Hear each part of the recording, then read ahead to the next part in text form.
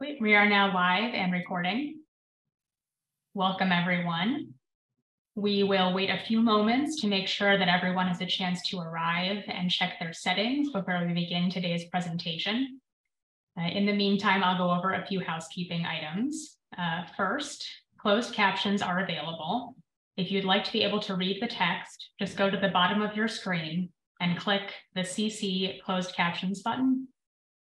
Also, we'll have a Q&A at the end of the program, so feel free to post your questions in the chat and we'll answer them uh, as many as we can towards the end. Okay, that's it for the housekeeping. We are ready to get started. Good afternoon, everyone. Welcome to today's Preservation Snapshots lecture. My name is Kendra Parzen, and I am Advocacy Manager for Landmarks Illinois. Thank you so much for joining us today, and welcome to any of you who may be joining us for the first time. If you're not familiar with Landmarks Illinois, we are a statewide historic preservation nonprofit founded in 1971 to help people save places that are important to them and their communities. Our advocacy team works on 150 to 200 projects at any given time all across the state. And since our founding in 1971, we've helped to save almost 24,000 places. We are glad that you joined us today to learn about some of our important ongoing work.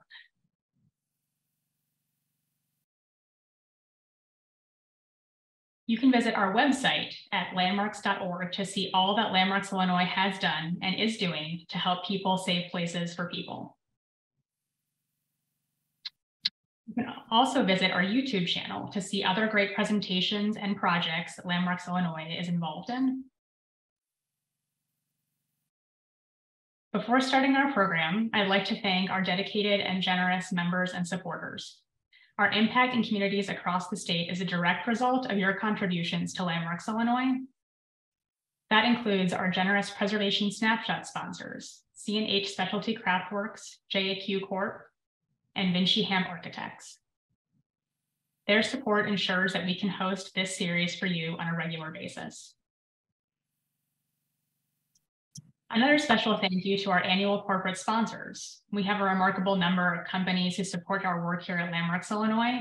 If you or your company is interested in supporting our work, we would be very happy to speak with you. Uh, you can reach out to Tiffany Williams, our Director of Corporate Giving and Events. Again, thank you very much to our generous sponsors. Another thank you to all the members of Landmarks Illinois who are joining us today. Membership support is essential to our success in advocacy, education, and programs. If you're not currently a member, I hope you'll consider joining today at landmarks.org. Before we jump in, as a reminder, if you need closed captioning, just go to the bottom of your screen and click the CC button. We are recording this presentation and it will be uploaded and available on our YouTube channel. Today's lecture is about Dr. Percy Julian and his family's home in Oak Park. Dr. Percy Julian was a chemist and entrepreneur. His groundbreaking work synthesizing medicinal properties from plants benefits millions of people to this day. In 1950, Julian moved his family to Oak Park. Today, the family's home at 515 Northeast Avenue is a contributing building within the local and National Register listed Frank Lloyd Wright Prairie School of Architecture Historic District. This historic district recognizes and protects primarily residential architecture associated with the Prairie School design style pioneered by Frank Lloyd Wright. Although the Julian home is part of this historic district, it is not specifically recognized for its association with Dr. Percy Julian or the Julian family.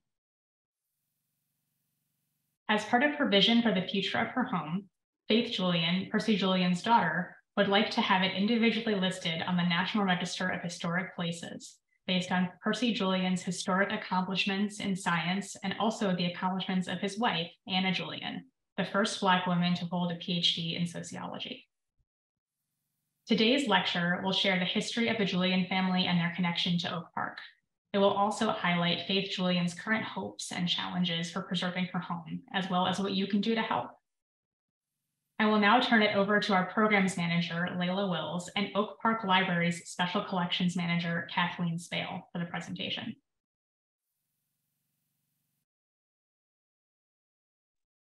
Hi, everybody. Thank you, Kendra, so much. And uh, thanks, everybody, for joining us today. I, I would like to welcome and thank Kathleen Spale from the Oak Park Library for joining us. She is their manager of, and curator of special collections. Hi, Kathleen. Hi, Layla. Thank you so much for having me here today. Yeah, thanks so much for all the work you're doing to help Faith Julian um, help to, uh, you know, save the home and bringing her resources. Yes, no, we're happy to do so and really excited about today's presentation. Before we get started, we're going to hear a little bit from Faith because she couldn't join us today, right? Correct, due to some health issues, but as you know, we'll hear from her soon. So yeah. So we have a special message from Faith. And I want to tell everyone if there are any issues with any playbacks of audio or video, we will, this uh, presentation will live on Landmarks Illinois YouTube, YouTube channel. And we'll go in and make sure that we replace those um, if there's any lag or, or problem. Okay. So let's get started. Let's hear a message from Faith and then a couple of more clips from Dr. Julian. And I will see you on the other side. Kathleen.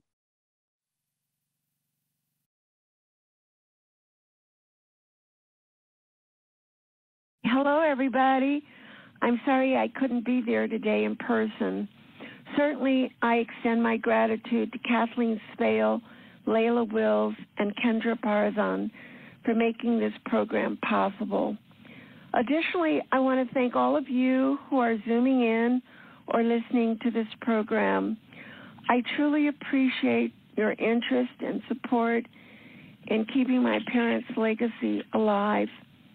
Also, I value your support in sharing my vision of having my home ultimately become a learning center for children as well as adults, a learning center where they can learn about my dad, the scientist, and my mother, the sociologist. Both of my parents were humanitarians. I also envision the Learning Center as a place where children can learn how to be humanitarians, how to give back to the world of which they are a part. Throughout my childhood, I spent several months each year in Phoenix, Arizona, where my parents had a home. I would accompany my dad, who would go twice a week to the Native American reservation to teach the Native American children how to fly a kite. Kindness, good deeds, empathy, and love are virtues that are sorely needed today more than ever and should be instilled in children as our country presently faces division, hatred, and bigotry. Again, thank you so very much for attending this program.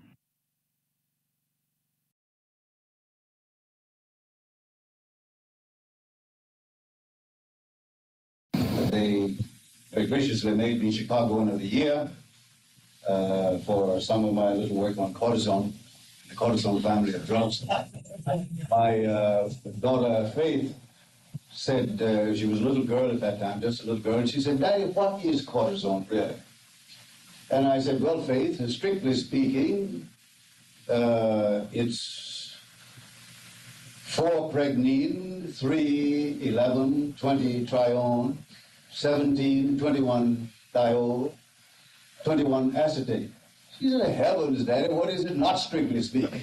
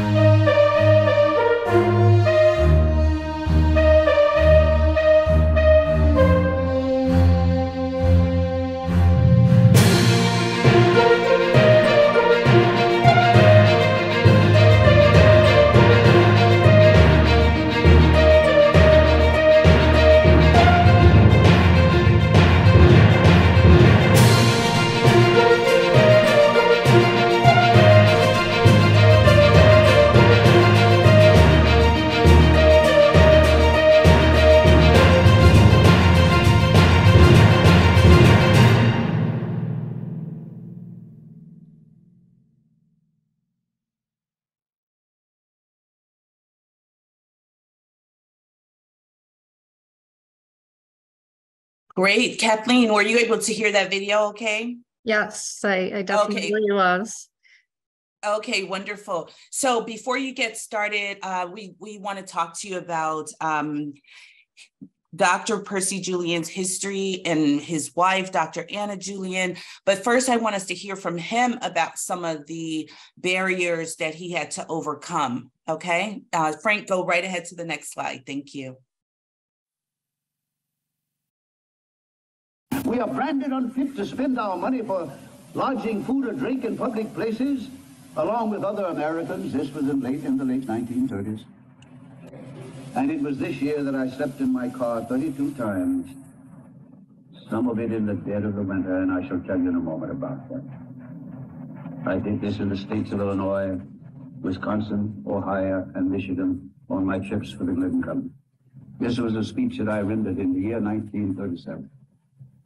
And I had, I suppose I was a little bitter because on my trips for the Glidden Company, I'd slept in my car 32 times that year because in Illinois, Wisconsin, Ohio, and Michigan, where most of the paper companies were located, and these I was, was visiting, no inn would take me in.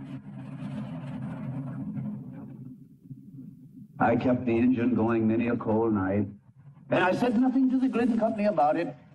Why? I'll tell you why. I tell you, members of my race, why I did it. I did it for you. Because I knew that when you came along, if this continued, and if they knew about it, they would say, look at the trouble we had with Julian. We can't hire him. We can't hire this young fellow. We had so much trouble with Julian, we just, he couldn't get places to stay. We can't give him this job. And I kept my mouth shut. Said not a mumbling word to the authorities about it.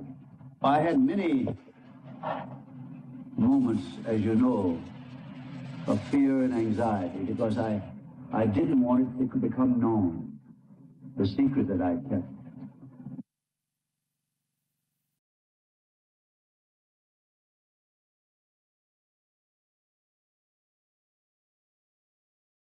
Kathleen, any comments on that?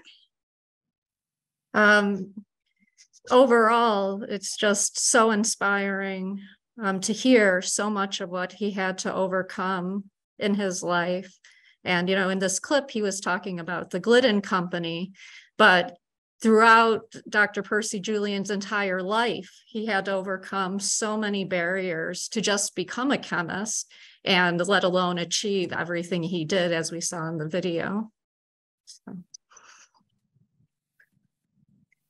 So I wanted to talk about if can we go to the previous slide again for a moment or with that? Okay. No, sure. Okay. So I wanted to talk about Dr. Percy Julian even before that clip of him growing up and some of the barriers he had to overcome. Even looking at the photos, you can see how much just that he had to face dealing with the school and being different so Dr. Percy Julian was born in Montgomery, Alabama on April 11th, 1899. His parents at that time weren't even able to have a college education given to them.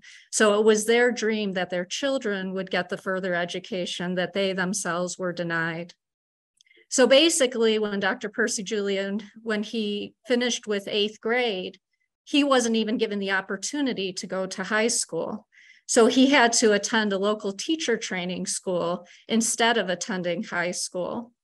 And as in the photos that you see there, even beyond that, most colleges and universities were not an opportunity for him. So he eventually went to DePauw University, which is a liberal arts college in Greencastle, Indiana. And looking at most of the photos, even those audio clips, Layla knows that, that they come from the archive that they have there that is focused on Dr. Percy Julian. And even after getting into DePauw University, basically he had more barriers. They wouldn't even let him stay on the dorms on campus like the white students who were go- attending there. And basically, he ended up having to make a deal with the Sigma Chi fraternity where he had to do chores for them and assist them just to have a place where he could live on campus. And in addition to all of this, once again, it makes his achievements all the more extraordinary. He had to take high school classes while he was taking his college courses just to catch up, unlike the other students who had the four years of high school. And even more amazing is by the time he graduated, so taking these courses, living with the fraternity, he graduated as valedictorian of his class, so the top of his class.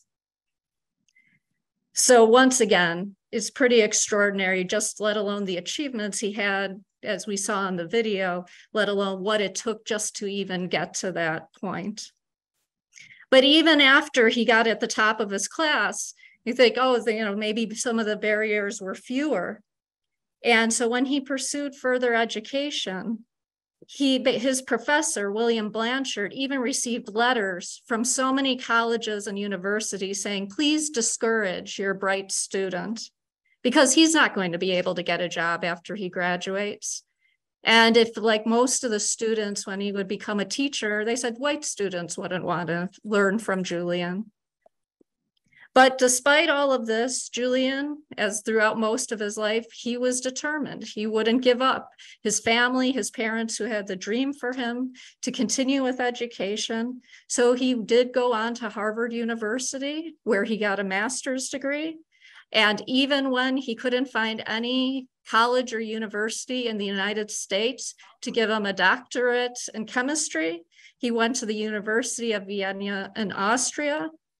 And this is where, and it was very fitting that he attended the school, the natural products chemistry, because that would become the basis of so many of the accomplishments we saw, just like the tulips at the beginning, his love of plants and his work with plants to synthesize so many of these important medical treatments that we'll talk about a little more.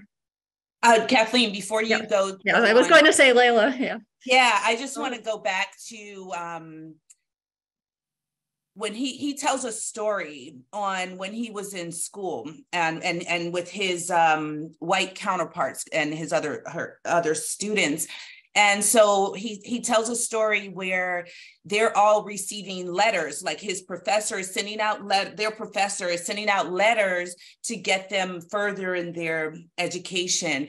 And so uh, percy julian tells this story where, where he's he's afraid to say anything to say well i haven't got my letter yet and what's going on but he finally does approach his professor and said you know did you send out any letters for me and he and he said i knew you were going to ask me that. And then he shows him a letter and where it says uh you know even if we took this guy in he's not going to we're not going to be able to get him a job after he graduates and you need to encourage him to just go on to teach when he gets finished. And that's the path that he did at, at first. So he went ahead and, and started teaching at howard university i believe for two years and then said you know no no way i'm not staying here. And and then i i think that's when he went on to harvard or austria at that uh, time. Harvard, but i did want to say that in his, this story he says how that's what they would do to uh, Negro students. They would just get them through their education and then send them off to teach.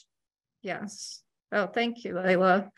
Yeah, absolutely. He talked time and again, just like the clip, how he had to deal with so many other barriers and not be treated on the equal plane, even as he's valedictorian of his class and the top student of his class, and his professors recognize his talent and skill. Even in Vienna, one of his professors, you know, said he had no other student ever the likes of him before. He was so talented. So and he became fluent in uh, German while he was over there. yes, yes, he had many different talents in addition to science. I know that's something Faith Julian also talked about. Um, so I was going to talk about then some of his specific, you know, we covered it very briefly in the video, but I wanted to go just a little more in depth. So if we can go forward a couple slides to the achievement. Yes, yeah, so that slide. Okay, so as you can see there, it, lists them there.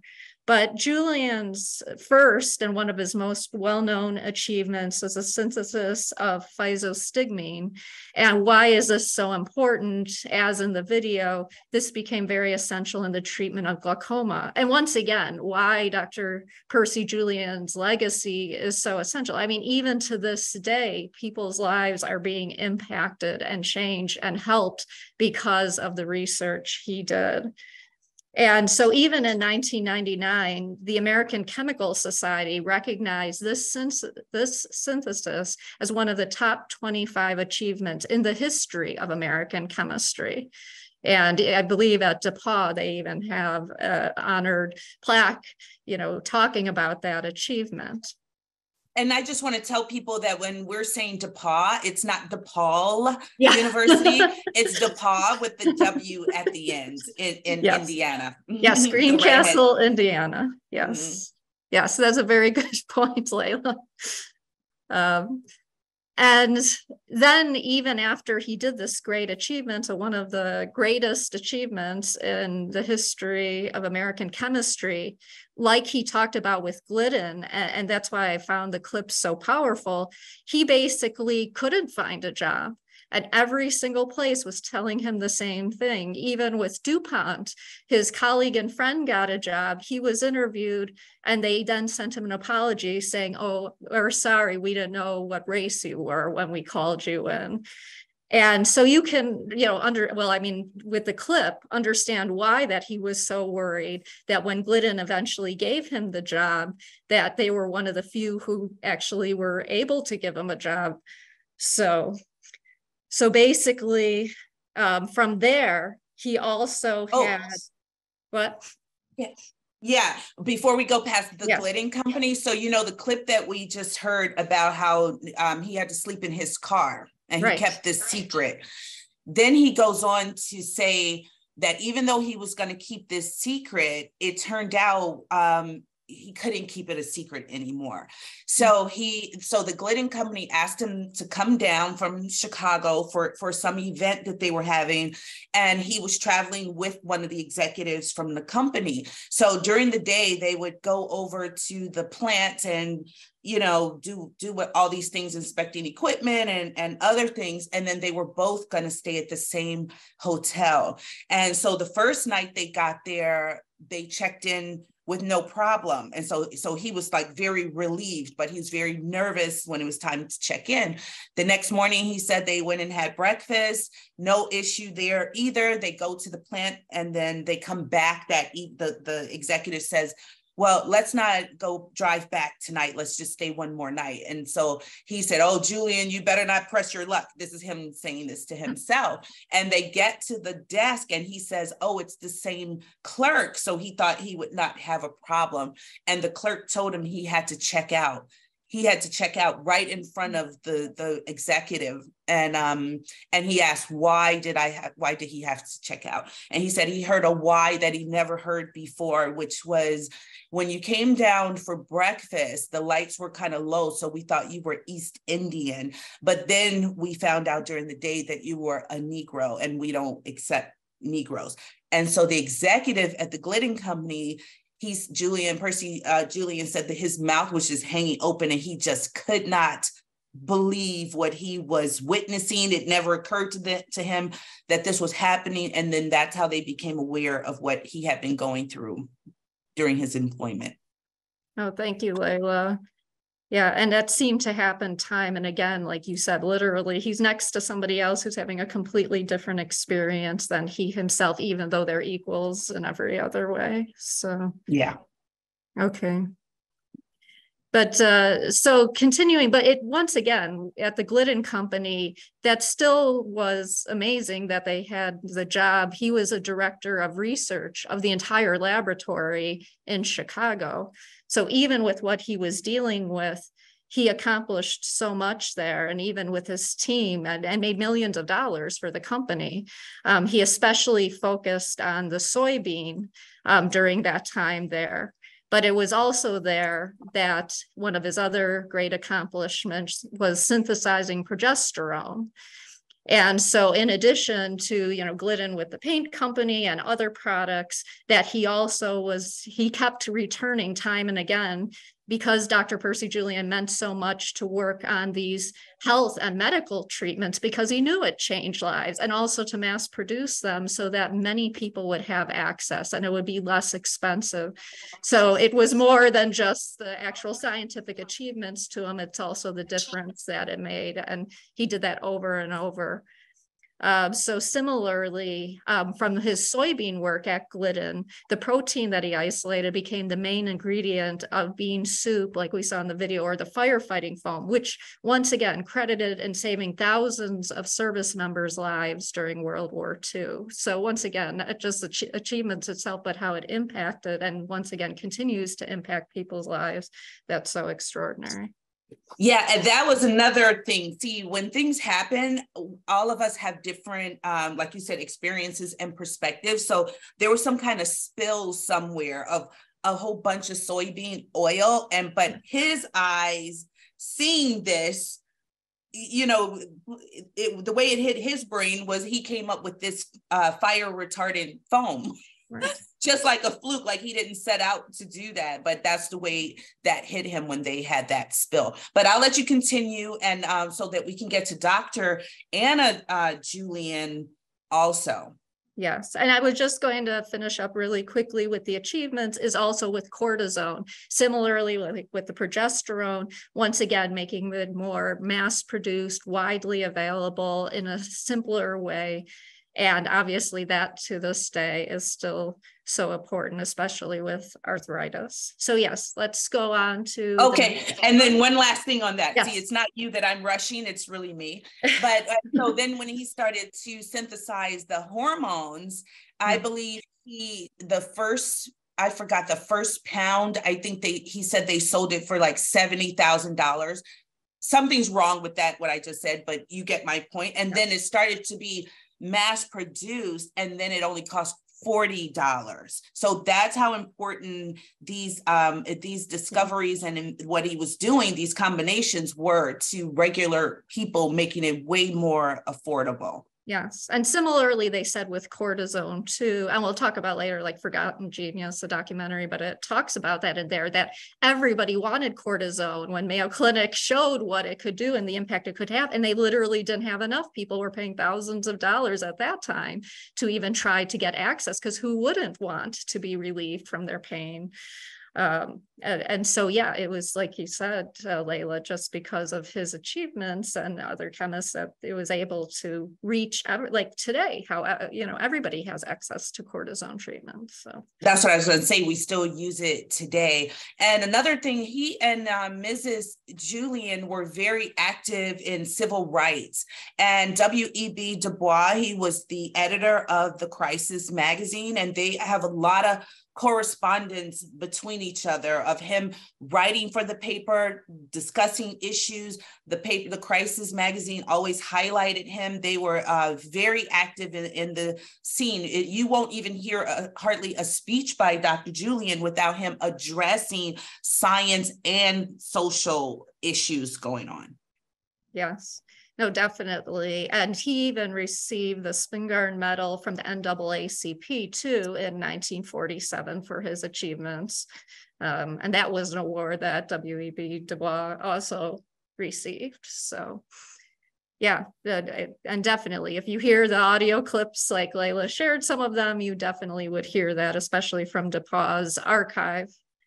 So I think we're ready to go on to Dr. Anna Julian and especially for Faith Julian too, um, she really wanted to make sure that while or in addition to her father's achievements, her mother's achievements and her dedication to the community and giving back, like Layla said, being involved with civil rights, that she was a pioneer herself. We already mentioned the first Black woman to earn a PhD in sociology. Um, like Dr. Percy Julian, she was born November 24th, 1901, like the turn of the century in Baltimore, Maryland. And like Dr. Percy Julian, she too had parents who really emphasized getting education. And she even lived with her aunt to attend the West Philadelphia High School for Girls before attending the University of Pennsylvania. And one thing Faith Julian really emphasized too is at this university, Dr. Anna Julian was a member of the Gamma chapter of Delta Sigma Theta, which was University of Pennsylvania's first Black sorority that started in 1918. And Dr. Anna Julian became the fourth national president, so one of the first presidents of Delta Sigma Theta, which focuses on service. And Dr. Anna Julian was also treasurer and vice president of Links Incorporated, which is a national organization of professional Black women devoted to civic, cultural, and educational pursuits. And she also received the Rita Johnson Humanitarian Award and multiple honorary degrees. So it wasn't just Dr. Percy Julian who is receiving all of these awards, um, Dr. Anna Julian as well. And you even see on the slide, you know, that she was vice president, treasurer, and bookkeeper of Julian Laboratory. So obviously, Dr. Percy Julian saw his wife's achievements that she was so integral to his company when he opened it you know, trustee of the Erikson Institute and a board member of the NAACP Legal Defense and Educational Fund. And for those in the Chicago area, that she was board president of Rosary College, which is now Dominican University, and the Oak Park Education Foundation. So once And- again, so Mhm. And Dr. Julian, he said, uh, I, uh, in one of his speeches, I'm married to this little woman who's a, Har- did she go to Harvard too? I believe he said she graduated from Harvard, no? Not sure. Yeah, I Okay, University yeah. of Pennsylvania, but Okay, yeah, yeah, yeah. And um, in um, her work in sociology um, is also that's why she she's the first black woman to achieve it. She did like this study of a hundred families on um, welfare, and just she was a very insightful person herself. And I think the um, historical society in Oak Park and River Forest they said something like if she if she wasn't married to Dr. Julian, like she would be like world renowned. Like now we know her primarily like um his wife, Dr. Anna Julian, but she was a superstar and hero in her own right. yes, yes absolutely. So So let's yeah. mm-hmm. go on to the next Yeah. I was gonna say, let's talk about the Julian family. There we go. Yes. just And- briefly and then we're almost at the house because um there's there this family has accomplished so much it would just take us a long time to go through everything and and i think we all understand how important they were to american history and scientific history and saving people's lives providing longevity in their lives with with with the medicine and we really want to get to the home that is in danger. Um, but go right ahead. That's Dr. Julian, Mrs. Julian, Yes. Faith, and and her brother uh, Percy Levon Julian Jr. Yes. yes. And so this ties in perfectly actually to talking about the home because in addition to all of their achievements, it what role does this play in Oak Park history and Oak Park civil rights history as well? So in this photo, they told us this was when they still lived in Maywood, but by the end of the 1940s, especially with the children, they were outgrowing that home and especially with him opening his own laboratories. So basically, they chose to buy a home in Oak Park, which we saw earlier, that home, and, and Kendra talked about as well. Unfortunately, just like through so much throughout the Julian's life, um, they faced discrimination even coming into Oak Park. So on Thanksgiving Eve of 1950, just as they were preparing to move in, there was an arsonist who tried to burn down their home because they didn't want them moving into Oak Park. And even a year later, it didn't even end after that, where Dr. Percy Julian and Dr. Anna Julian were just leaving town for a weekend. And Faith talks about this on her GoFundMe, and she was with her brother, and someone threw dynamite at the house. And in both cases, obviously their attempts were unsuccessful, but you can see in addition to them living in the house, that basically they said they were not going to be intimidated by all of these attempts and threats, and that everybody should have the right to live where they want to without fear. So they even hired guards to watch. Dr. Percy Julian was known to keep watch even late at night because even though it might have been safer or easier to move out of Oak Park, they chose to stay there and felt it was important to do so. So both, both of both children, I believe, uh, throughout they both went to school in in Oak Park, and I believe they were the only black students throughout their entire school years, throughout that entire time. And um, Dr. Julian also um, helped to integrate Appleton, Wisconsin. So Appleton, Wisconsin had a law, a statute on the books that no Negro could be housed overnight and he was there with with another business associate who and he and dr anna julian stayed with this white uh, executive for two weeks breaking that statute and that person ended up getting sued and they won he won the lawsuit and integrated appleton wow. wisconsin also. So at the same time of uh, the Julian um, laboratories, which was when, which was very financially lucrative too, Dr. Julian um, processed vitamin D in mass amounts too. And uh, so then, so with their success, which um, they moved to Oak Park, and in Maywood they had a street named after them. I I need to go by there and get a picture of it. I I think it's still I think it's the Julian Family Way um, something like that. But we'll we'll get the um, somebody said we're we're gonna oh also come put your uh, questions and comments in the chat and there we we are getting to that point but somebody just said were the arsonists prosecuted caught and prosecuted. I don't believe so. I don't think I, don't, I was going to say i don't think in either case they ever found who did it. You know it was late at night and they came and went so no.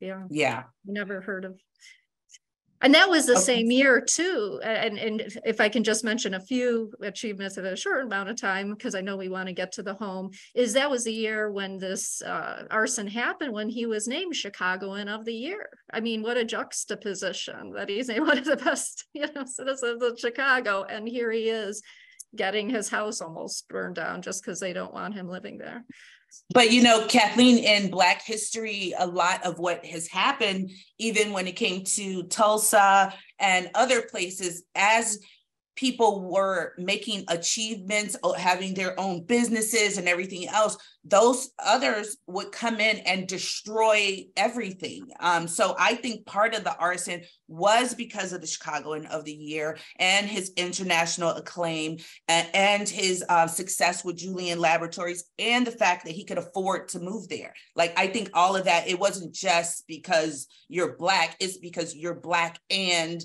successful. You know, yeah. Mm-hmm. Yeah. No, thank you, Layla, for that. And I could totally see that. It's why the yeah. people feel threatened that, you know, they act out. Um, and but I just wanted to list some of the other achievements really briefly, even though there's so many. Uh, but Faith really wanted us to mention, um, and for everybody here to know, in 1975, Percy L. Julian High School was opened on the south side of Chicago as a Chicago Public High School. In 1980, the Science and Mathematics Building on the DePauw University campus was rededicated as Percy L. Julian Mathematics and Science Center. And then in Oak Park, even in addition to the bust that we saw during the video that honored him in 1985, Hawthorne School in Oak Park was renamed Percy Julian Middle School. So now we can, you know, go on to the next slide. Yeah, and uh, the the school at DePauw University, Dr. Julian actually had something to do with. Um, they there's a picture of him in their archives of him looking at the design and all of the other faculty members talking about this new school. So he had something to do with that before it was even built. yeah. yeah. And so just so everybody knows, uh, what we have here is Forgotten Genius. That's where a lot of this information from today, in addition to DePauw Archives, is from 2007 um, from Nova and can be found online, even at the libraries, might have DVD copies. I know Oak Park Library here has a copy, but I would highly recommend it. It's very well done. Yeah, it's on channel 11 and I would recommend any parent to have their their young people watch this is super inspiring. Uh, I was telling Faith last night, I was like, after listening to all of his not all of them, but a lot of his um, talks and things, I feel like, hey, I know, I know Dr. Julian, or he was one of my my professors, or or mm-hmm. something. But um, he's very encouraging to young people. He really was, um, and for for them to enter into the scientific world. And it was, it, it is a very good documentary. You can find it on PBS. It's on the website. Like it's a, it's totally available for you to watch. And they have teachers' guides as well with it. Because, like you said, yes. that was a big role. So many of his chemists that worked with him in his lab were so impacted by his life too. And he was very generous as a teacher. So, yeah. So let's get to the next slide, and we're coming to the Q and A um, in just a few minutes. We're we're going to describe some of the issues that um, is going on with the home, um, that are going on with the home, and we're hoping that um, some of you may have some ideas, suggestions. We'll tell you where where things are now, but we hope our preservation community can help us um, with with the Julian home. Yes. So basically, when it first came to our attention uh, and at the library and also in Oak Park, it was in September of 2021, uh, where Faith Julian herself came to the library. And there was a Wednesday Journal article about it you know, once again, her father's bust right outside the library. And here she is coming into the library to form this GoFundMe because she had many taxes to pay from multiple years on this house. And, and she talks about in the GoFundMe that unfortunately, you know, just like talking today, she's been through so many different health issues over the previous few years.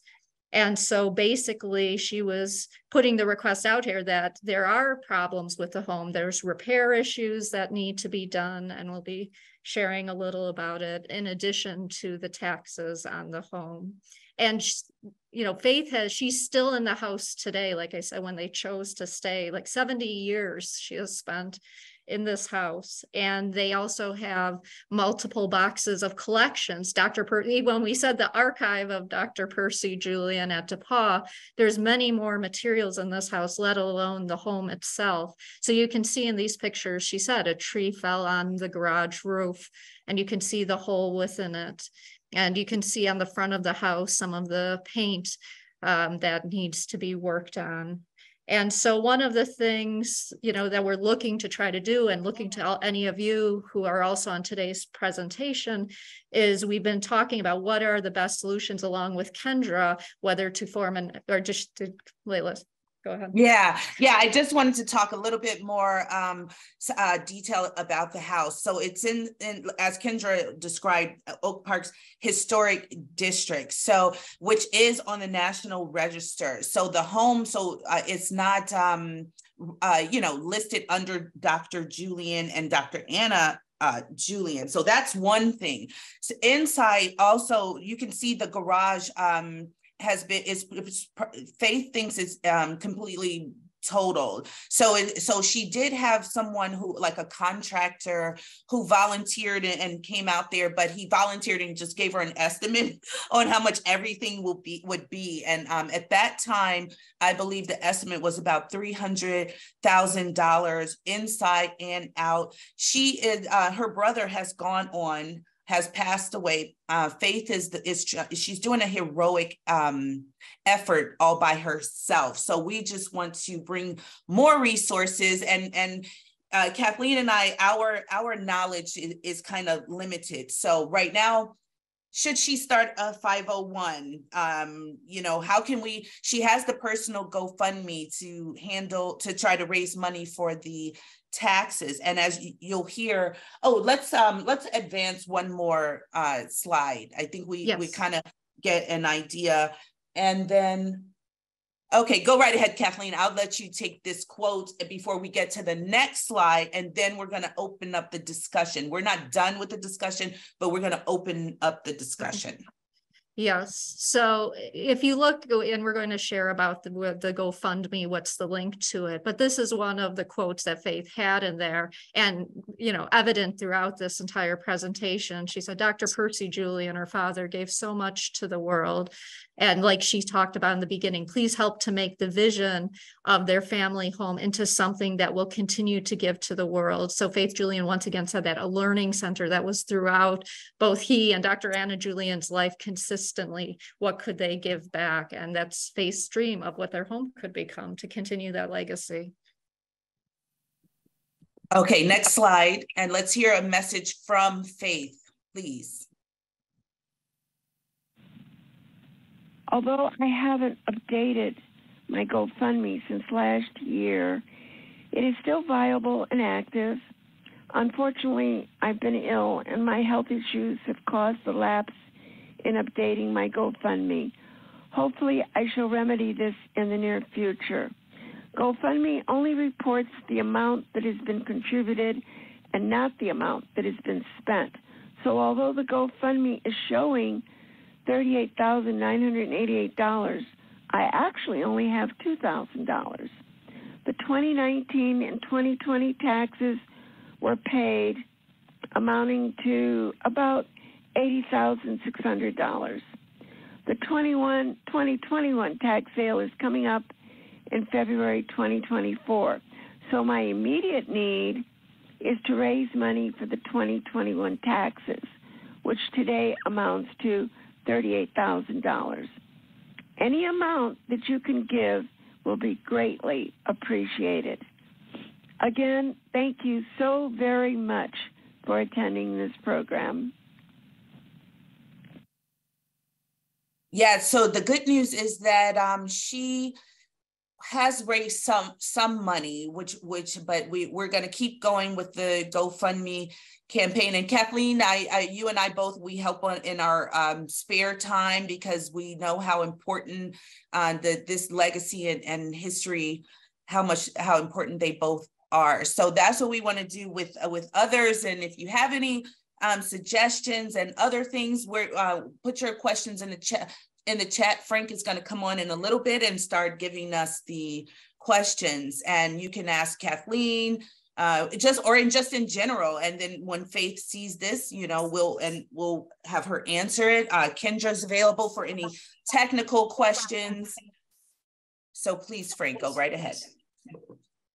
I think we're still waiting for questions to come in. There's been a couple questions on question on the address, but it looks like it was answered there. Um, 515 Northeast Avenue Oak Park.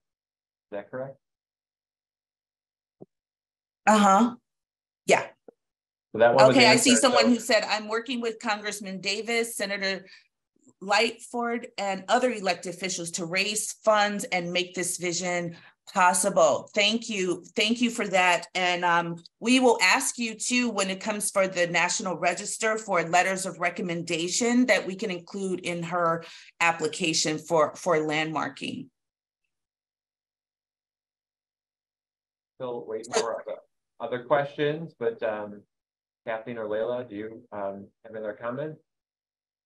Well, I, I, was just, oh, do you want to go first, Layla? No, no, go right ahead, Kathleen. No, I was just going to say, you know, like how Layla said, why involved, you know, like behind me right now, I'm in special collections and in the special collections at Oak Park Public Library, we have work from, you know, Frank Lloyd Wright and Ernest Hemingway, and they have their homes in Oak Park that have been become landmarks. So just like Faith, you know, talked about, that's a dream too, that Percy, Dr. Percy Julian should be among these other great noble, notable figures in Oak Park to have a learning center and a place dedicated to learning about him. Oh, and we have a lot of questions coming in. So. Yeah, uh, Mary Lou, I just want to say hello to um, Mary Lou. And if you have any um, ideas at all, uh, just feel free. Let's talk about it. Um, would be very good. The question here about um, are there grants to support this work, the Oak Park Foundation? Well, so for one thing, when it comes to grants, uh, so we're all in, in conversation. Grants are usually to 501s. And um, as of this moment, um, there's not a 501 established. However, that's another area of um, expertise and advice that Faith kind of needs on how to how to move forward to attract and be able to obtain grants and funding like that. And if I could add, you know, we are very um, happy to have some of those conversations and, and help uh, guide Faith when she is ready to move in that direction. Um, so that's one area where we hope to um, be supportive of this vision. There was also a question about uh, Miss Julian expressed uh, a desire to turn the house into a learning center open to the public. Uh, is that effort uh, getting any traction or what steps are being taken for that? Yeah, so um, and Kathleen, I'll let you jump in I, because there was one other thing I forgot to mention, but it's kind of um, we we can't get to that part the concept and idea is being fleshed out but um, there's some some uh, you know more urgent things at the moment. That's the ultimate vision. I also wanted to talk about dr julian's archives and personal effects and and other mementos and other things that um, faith has so it's a lot of history we don't know if there's all his you know his chemical formulas which i'm sure are available somewhere but it's his own personal um, items and papers. And he has letters to W.E.B. Du Bois and other contemporaries of his time. Go right ahead, Kathleen. Did you want to add on to that at all? Uh, no, I, I mean, I, I think, you know, that pretty much, you know, covers it. Well, like I said earlier with the collections, yeah, it's amazing the amount of materials and original materials. And I'm sure it would be very important, especially working in a library special collections. I can say once again, with Hemingway, Frank Lloyd Wright, how many materials and students are still learning. So I can only imagine how his, you know, papers and original work would inspire continue to inspire, let alone the science community, whatever notes I know. There's we just a, had a little bit of feedback while while Kathleen was talking, so I'll mute next time um, we in case that's from my end. Go uh, right ahead, friend. Yeah, thank you. There's a question here. I'll I'll throw it to Kendra. Just can you clarify the if, if the home how the home is locally listed or designated? Yes, thank you, Frank. So yes, the, the house is part of the, um, as I mentioned, the Frank Lloyd Wright Prairie School of Architecture Historic District. That is both a National Register and a local historic district in Oak Park. Um, so the house is a contributing resource, as we call it, to both of those districts. Um, and so it has currently has all of the, the benefits and protections that landmark designation offers, um, however, that is uh, for its association with this broader historic district rather than for its specific association with the Julian family at this time. A question, just uh, perhaps provide a little bit more detail on uh, the conversation around ownership of the house. So who currently owns the house and what's the plan for ownership in the future? Yeah, I won't go all the way into this over the, with, you know, without Faith being here to discuss this herself, but there is a trust set up. And someone I saw, uh, I can't just see the name, but he wants to have an offline discussion about some of these. And, and please, please do, please reach out. Our uh, contact information is on landmarks.org, uh, Kendra's and mine. So um, please do reach out and um, we would love to continue the conversation. Uh, there's also, just to clarify, Faith is the current owner of the house, right? Yeah, the home is in a trust. So I don't have like the trust okay. papers or anything like that. So Faith Thanks. would need to go into detail on that. Um, but she is the last um, child of the Julians alive. Yeah. Thank you for that. Um, and then uh, of the, the brainstorming of use that we, we mentioned, what one of the ones that, that uh, Faith has mentioned, is that use allowable in a residential district in Oak Park? Um, would it need to be part of a larger plan to, to have uh, like public use like that in a residential neighborhood? Uh, Kendra or Kathleen? Sure, I can I can uh, start to answer that. So um, yeah, so that this is, this house I believe is currently zoned uh, residential single family. Um, and to be quite honest, we have not, we're, we're still at a nascent stage with, um, with Faith's vision. And so I don't know that that's something that's been fully explored yet.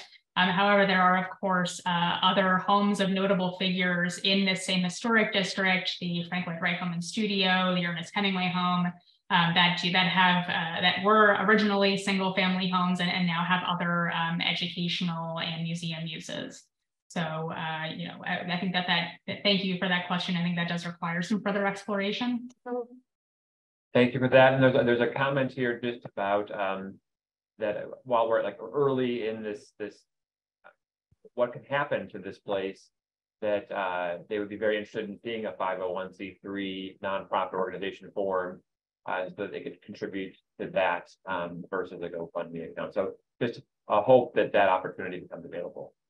Yeah, we and we are aware of of that. Um, believe me. So Faith has been doing a heroic job all by herself and um and so we are kathleen and i are reaching out to others to to help in this effort and i saw somebody talk about a cleanup day and and that kind of thing so i don't know i guess we would frank what what do you think about something like that i did she thinks the garage is totally uh is total like i don't know if a cleanup would help yeah we certainly would want to um uh help help where we can and uh uh make sure we're in a safe environment too. If, if uh, uh, but uh, yeah, whatever resources we can bring to bear to to help um, Ms. Julian uh, Landmark Illinois would be happy to have that conversation. And Any we do have friends at the DuSable Museum and uh, the Chicago History Museum. And um, so we are um, trying to make everyone aware of the this um, situation so that Dr. Julian's archives and everything would that we don't lose them, the meaning we, the public, you know, these are things that that he has benefited the American people you know with with his work. And there is someone on there's a website called findagrave.com and when you go and look at his headstone what a person she commented on there that his work gave her grandmother an, an additional decade of, of life. That's how important his work was. there's a note here too of um that that both the the house and the garage are contributing to the the uh, prairie school national register district so that, that is a clarification there. Um, we have other comments uh, supporting elevating this story. Um, uh, but I, I don't see any additional questions in the chat. And just looking at the time, um, I think it's about time to, to toss it back to Kendra to close us out.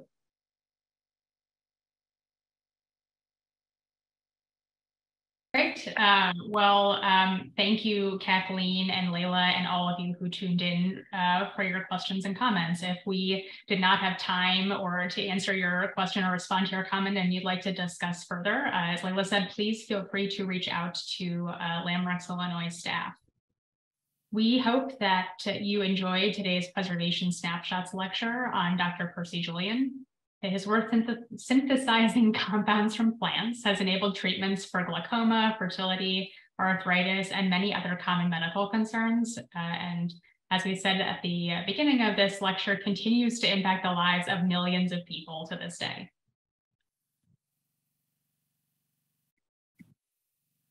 Before we go, I'd like to share some recent news and upcoming events from Landmarks, Illinois.